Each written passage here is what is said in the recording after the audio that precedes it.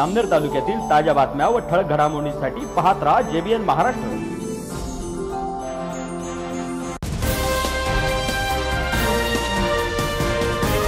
नमस्कार मी मिनल चौधरी. पाहूया काही ठळक वृत्त. जळगाव जिल्हा माध्यमिक शिक्षक शिक्षकेतर नोकरांची नागरी सहकारी पतसंस्थेची सत्तरावी वार्षिक सर्वसाधारण सभा जळगाव येथे संपन्न झाली. या प्रसंगी गतवर्षी करण्यात आलेला खर्च हा सभासदांसमोर वाचण्यात आला. त्याची मंजुरीसाठी अहवालाचे वाचन करत असताना अनेक ठरावांवर सभासदांनी अध्यक्षांसमोर प्रश्न उपस्थित केले व त्यात कशा पद्धतीने सुधारणा करण्यात येईल याबद्दल प्रोसिडिंगवर नोंद घेण्यात आली. माध्यमिक पतसंस्थेची ही निवडणुकीनंतर पहिली सर्वसाधारण सभा थोड्याफार प्रमाणात का होईना पण नक्कीच वादग्रस्त ठरली. त्यामुळे काही विषयांवर गोंधळात मंजुरी नोंदवण्यात आली. यावेळी काही सभासदांनी पतसंस्थेत गैरप्रकारे झालेल्या भरतीविषयी प्रश्नावली मांडली असता उत्तरे समाधानकारक न मिळाल्याने सभासदांनी नाराजी व्यक्त करत सभासद हितासाठी न्यायालयात जावे लागल्यास जाऊ अन्यथा आंदोलन करावे लागले तरी आम्ही तयार आहोत असं काही सभासदांनी माध्यमांसमोर आपल्या प्रतिक्रिया दिल्या आहे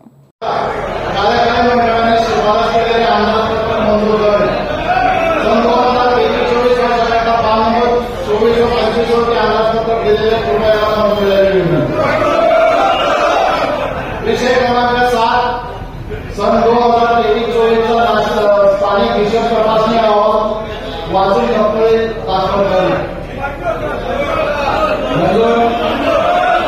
विषय क्रमांक आठ श्री हेमंत काळे प्रमाणित लेखा परिषद सहकारी संमती जळगाव यांचा संपूर्ण बावीस तपासणी अहवाल वाचून दा- दाखल करणे व त्या तपासणी अहवालातील शंकांना कार्यकारी मंडळाने दिलेले उत्तर वाचून काढणे. शेळे नेहमीचे स्पॉन्सर आपले. सहा महिन्याच्या निम्मा कर्ज फेडण्याशिवाय नवीन नूतनीकरण करू नये. सभासदांना कर्ज देताना स्टॅम्प पेपर घेण्यात यावा. असे नेहमीचे शेअर स्वरूपाचा एकही शेअर विषय क्रमांक नऊ नऊ सन दोन हजार तेवीस चोवीस वर्षाकरता स्थानिक हिशोब तपासणीसाठी नेमणूक नेमणूक करणे व त्याचा निर्णय ठरवणे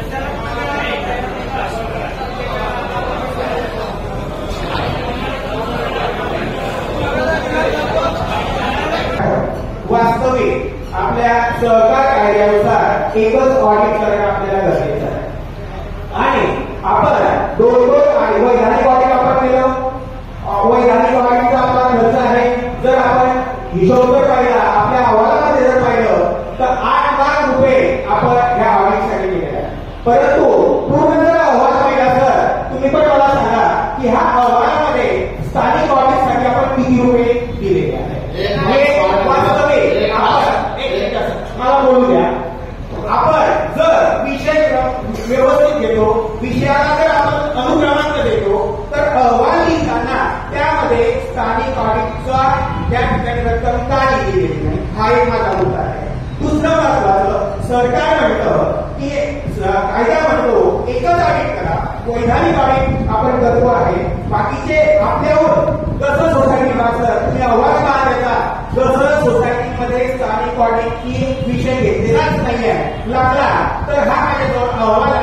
या अहवालामध्ये पहा स्थानिक ऑडिट विषय घेतलाच नाहीये तिथं नेमणूक केलेलीच नाहीये त्यांच्या जर आपल्याहून शाखा जास्त आहे एका तालुक्यामध्ये दोन दोन शाखा आहेत. मुद्दा मला काय आहे ते एका बघा. तालुक्यामध्ये तुमचा दोन दोन मुद्दा शाखा आहेत. तर ते नेमणूक करत नाही तर आपण काय करायची तेवढा तो खर्च आता वाढेल तेवढा आपल्याला तुम्ही आज पंधरा टक्के डिव्हिडंड आम्हाला दिला आहे तो थोडासा वाढ नाही आणि आपण आताच म्हटलं की आपण काय कसं करूया कसं करूया हे त्यांचा प्रश्न हा होता त्यांचा प्रश्न हा होता की दोनदा ऑडिट का हा करायचा दोन दोनदा ऑडिट नाही.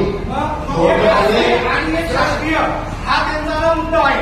शास्त्रीय ऑडिट हे नियमानुसार आपल्याला करावं लागतं. मग स्थानिक करायची गरज काय? स्थानिक करायची गरज आपल्या पतपिढीच्या हितासाठी आपल्याला पतपिढीचं करणं आवश्यक आहे.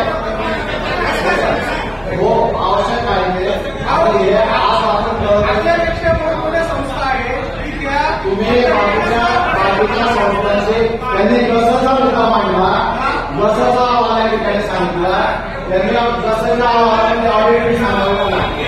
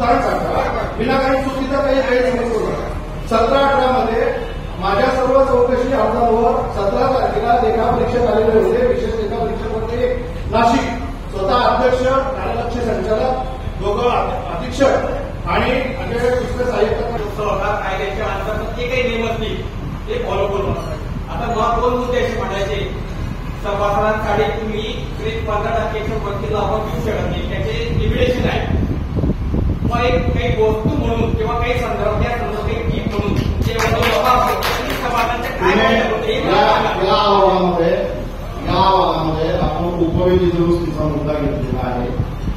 आपली शेअरची मर्यादा पाच हजार रुपये आहे त्याच्यामुळे पाच हजारावरून आपल्याला डिव्हिडंड मिळतोय. तो कमी मिळतो. म्हणून आपण आता म्हणतोय पंचवीस हजाराची किंवा आहे. पंचवीस हजार पंचवीस हजार शेअर दिले पण आठ पट डिव्हिडंड मिळालेला आहे त्याच्यापेक्षा पाच पण मिळेल. परंतु आपण पंचवीस हजार रुपये शेअरची मर्यादा करण्याच्या संदर्भात या ठिकाणी नोंदवून ठेवून मीडियाकडनं असं बोलू नका. मीडियाकडनं ती मंजुरी घेणार.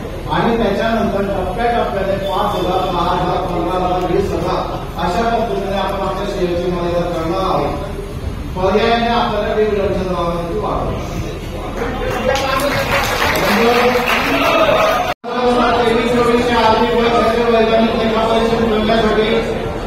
लेखा परीक्षकांनी निवडून मिळवण्याबाबत विचार करा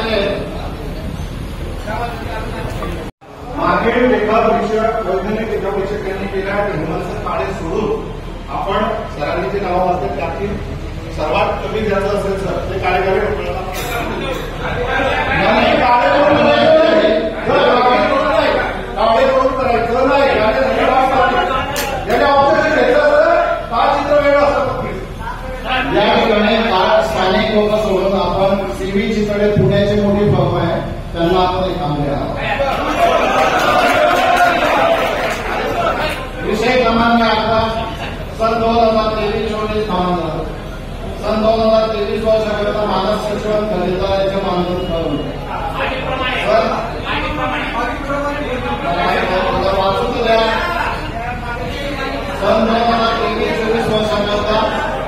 सचिव वार्षिक मानदंड बेचाळीस हज़ार रुपये व प्रविंदा यांना छत्तीस हज़ार रुपये देण्यात आले यास मंजुरी देण्यात आली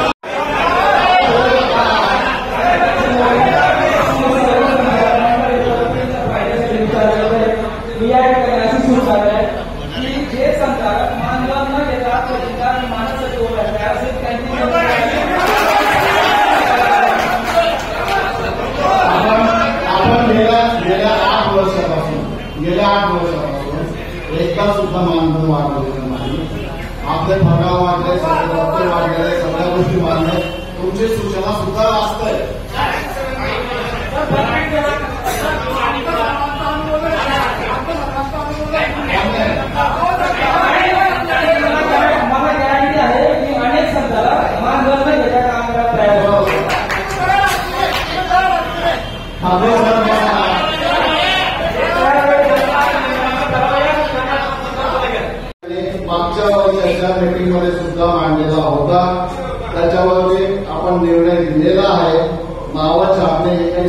नाही आणि कुठल्याही परतीच्या संदर्भामध्ये कुठलंही बोर्ड आपल्या संस्थेमध्ये आजपर्यंत झालेलं नाही.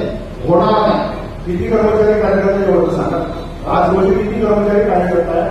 आणि किती पद एवढं आम्हाला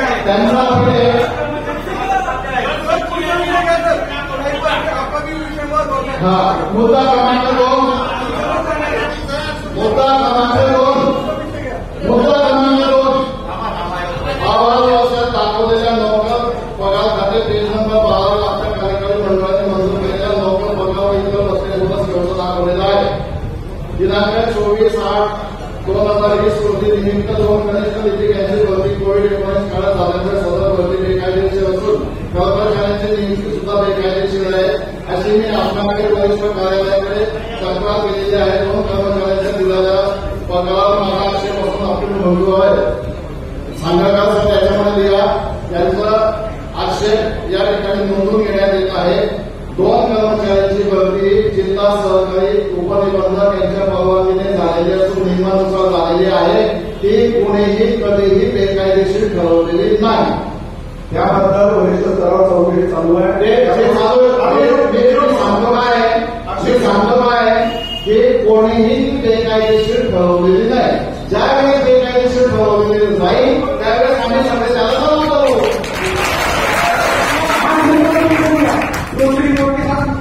हो. आम्ही बेकायदेशीर ठरवण्यासाठी मान्यता देऊ. प्रोसिडिंग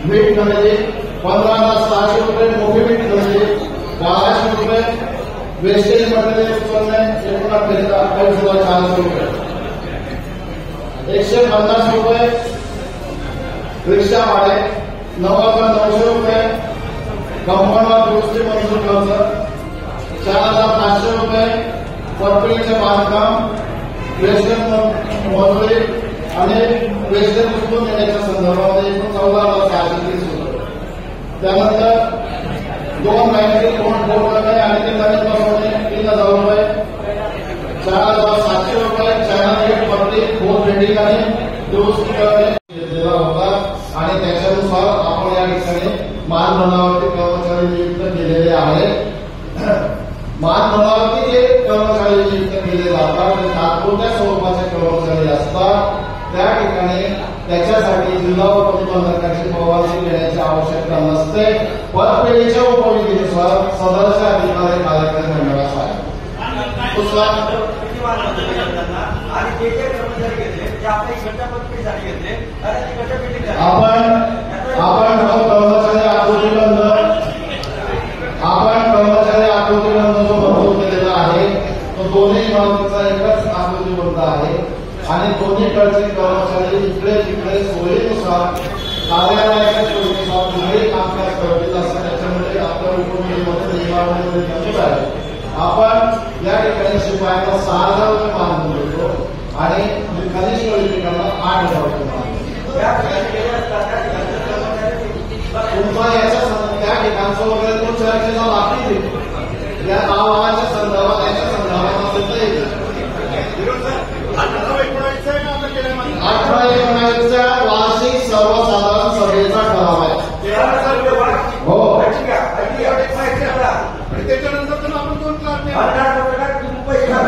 दोन लाख हे ज्या वेळेस नेमले त्याच वेळेस आपण हा ठराव केलेला आहे मानधनाचा परंतु जे लिखित दोन नेमलेले आहेत ते आपल्या त्यावेळेच्या आकृती बंधामध्ये होते ते नियमित होते. त्याची परवानगी आपण भूमी बंधन कार्यालय करण्यात येत होती. एकोणाच्या अठरा एकोणाच्या मीटिंगमध्ये आपण ते मंजूर केलेलं आहे परंतु त्याची अंमलबजावणी नंतर केलेली आहे ज्या वेळेस प्रत्यक्ष आपण त्यांना इकडे काम दिलं तेव्हापासून आमचं ते- आपण त्यांना मानधन देतो तोपर्यंत आपण मानधन दिलेलं नव्हतं तीन वर्ष त्यांनी केलेलं आहे वीसपासून केलेलं आहे वीसपासून दोन वर्ष आधीच्या घेतला होता तुम्ही असं काय बोलताय तुम्ही मी काय सांगतोय नो वर्क नो पे अशा माध्यमातून आपण त्यांना मानधनावरती लावलेलं होतं मानधनावरती लावलेलं होतं तात्पुरत्या स्वरूपात तुम्ही जर म्हणता असाल तर काढून टाकतो त्यांना उद्यापासून आपल्या पदपिढीमध्ये तेरा देखील मान्य आहे. दहा शिपाई मान्य आहे? आज किती कालावधी आहे? तो दाखला सगळे. किती कालावधी किती विनोद फोटो काढले दोन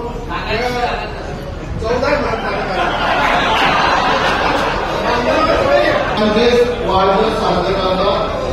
जे माझ्याशी भागामध्ये येतात जे तिथे येतात तुझा पण असला तर तुझा पण कोणी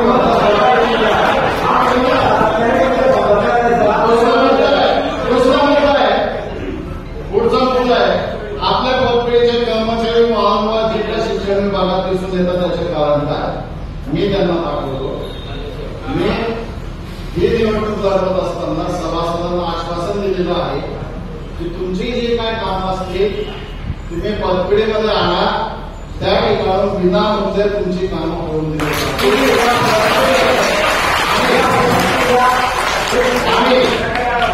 आणि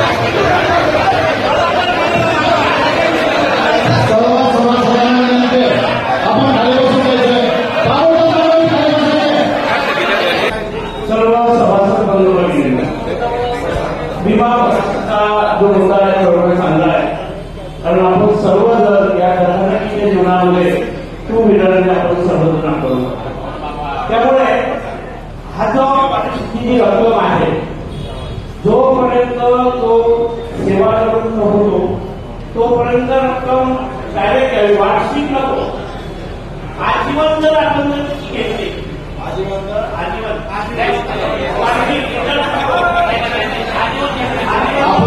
आपण ही पॉलिसी घेत असताना पेपरमध्ये जाहिरात देतो निविदा मागवतो.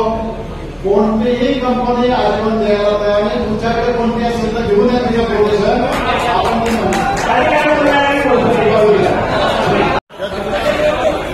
आपण ती मी मैश्री सभासद क्रमांक दोन संस्था दोन एकोणपन्नास.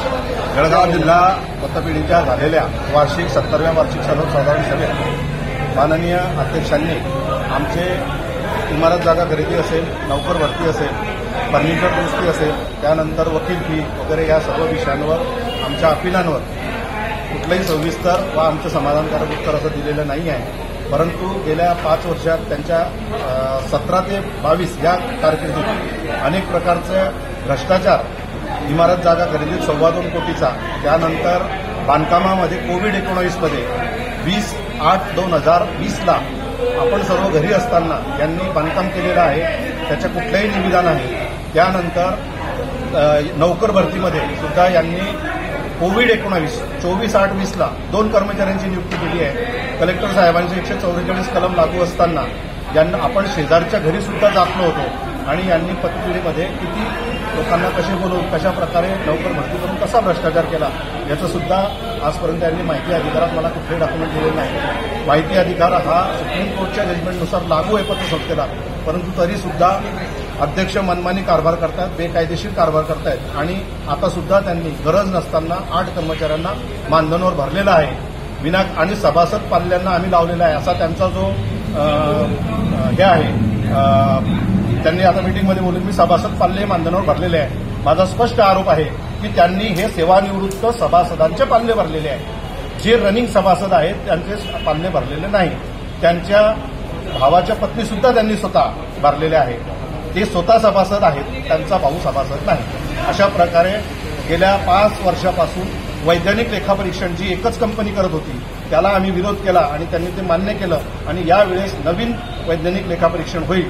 कारण पाच वर्षाच्या वैज्ञानिक लेखापरीक्षणामध्ये संस्थेच्या अपाराबद्दल व अनियमिततेबद्दल कुठलीही तक्रार लेखापरीक्षणाने काळे यांनी केलेली नाही आहे. त्या काळेंना सुद्धा काळ्या यादीत टाकण्यासाठी आम्ही वरिष्ठकडे तक्रारी केलेल्या आहे आणि नुकतंच सतरा आठ दोन हजार तेवीस रोजी विभागीय सहकारी संस्था नाशिक विभाग नाशिक यांनी माननीय डी आर पाटील साहेब यांना पाठवून सतत सात तास लेखापरीक्षणाचे डॉक्युमेंट पाहिलेले आहे. परंतु माननीय ऑडिटर साहेबांनी फक्त चेअरमन यांनाच सुनावणीसाठी बोलवलं सर्व संचालक मंडळाला बोलवलं असतं तर सविस्तर चर्चा झाली असते आणि पूर्ण दप्तर पाहिलं गेलं असतं.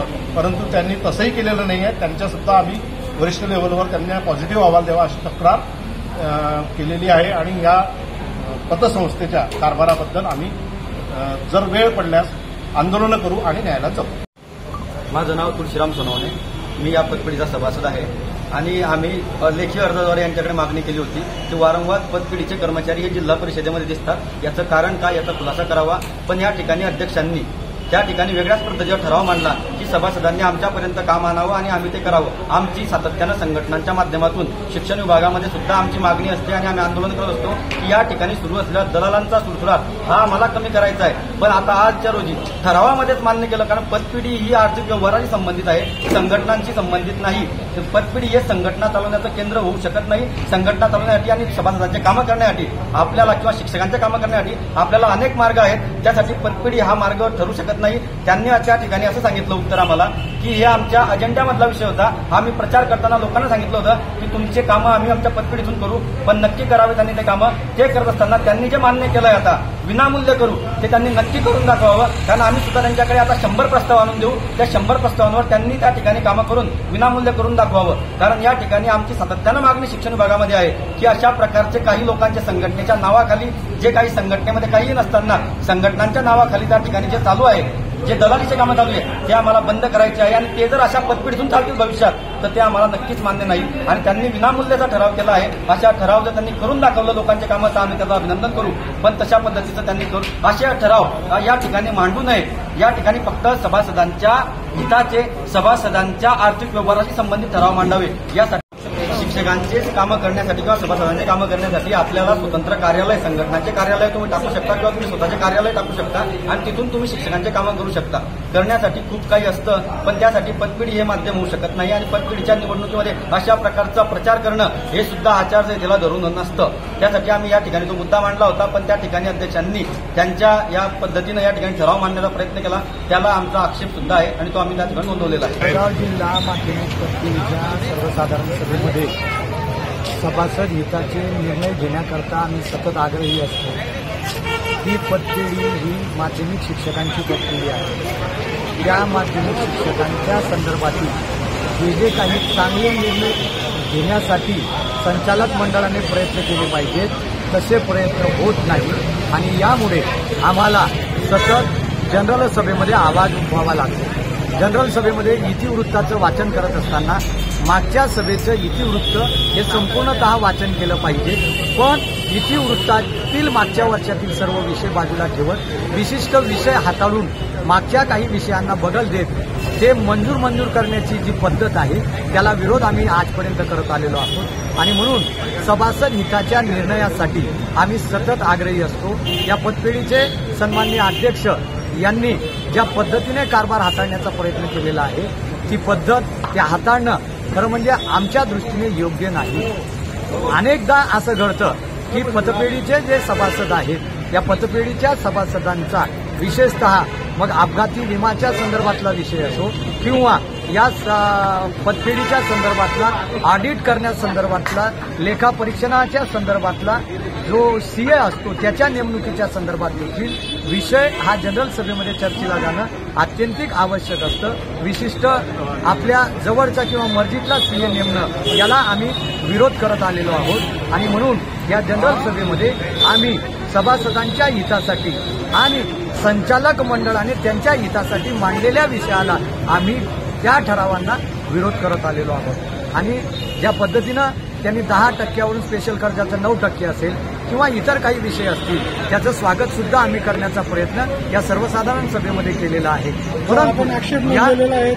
या नोंद आक्षेपाच्या. संदर्भात सुद्धा प्रोसिडिंगमध्ये ही नोंद करणं आत्यंतिक आवश्यक असतं पण तसं न केल्याने मागच्या सर्वसाधारण सभेच्या इतिवृत्तामध्ये त्यांनी अशा पद्धतीची नोंद किंवा लेखी स्वरूपामध्ये नोंद न घेतल्याने आम्ही त्या संदर्भामध्ये विरोध करण्याचा प्रयत्न केलेला आहे.